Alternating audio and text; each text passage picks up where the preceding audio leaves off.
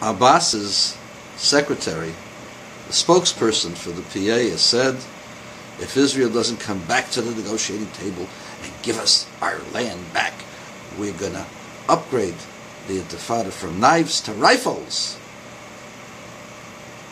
Why is he doing this? You know why? Because the knives haven't worked. Yeah, they killed some Jews.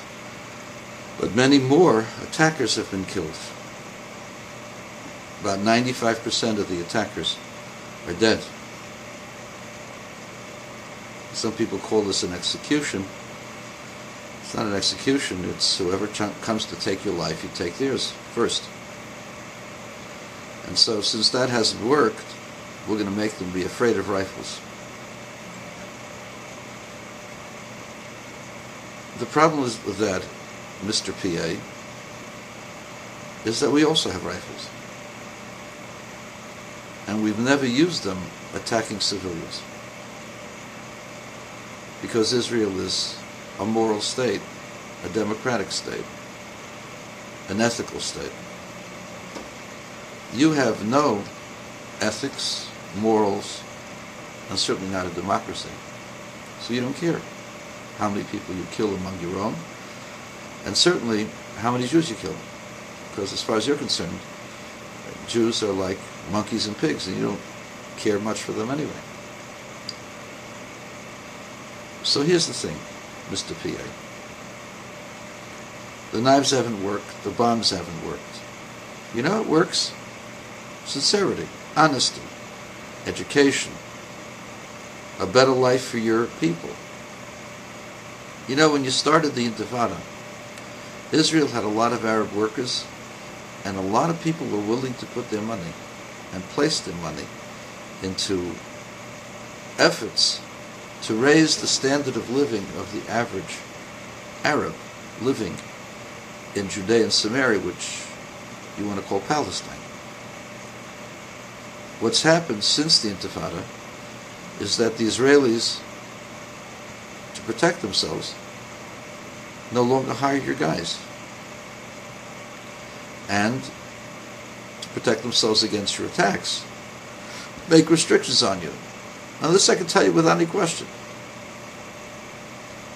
If there was no attacks, there would be no barriers. There'd be lots of people working, lots of cooperatives, and a lot of prosperity. So why don't you want that? Why hasn't that happened? For two reasons. Number one, you're a thug. Whatever somebody else earns, you have to steal. I'm saying this to you, Mr. Abbas, and to all your underlings. You're a bunch of thugs, a bunch of thieves who've stolen the billions of dollars that have been given by the world for the sake of the Palestinians. A thug doesn't want peace because a thug only wants more things to steal.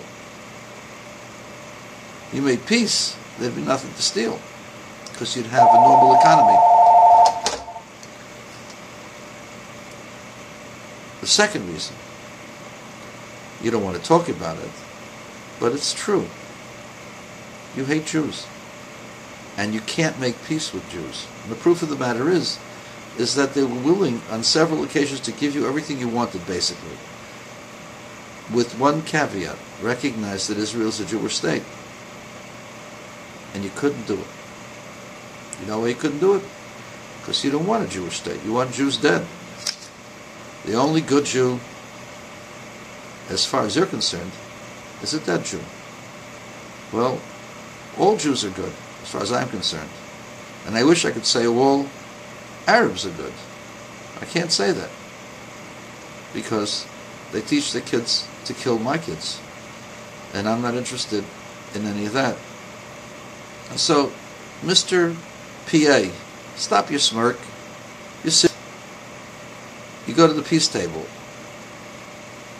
and you close all those stupid schools where they teach kids to do jihad and kill people. They don't do this in the United States, and in Western Europe they don't do this except in your madrasas. Stop being a schmuck. Don't think people can't see through you. The people who can't see through you are Jimmy Carter, and everybody knows he's an ignoramus, and kidney brain Kerry, and everybody knows that his ego gets in the way of his intellect.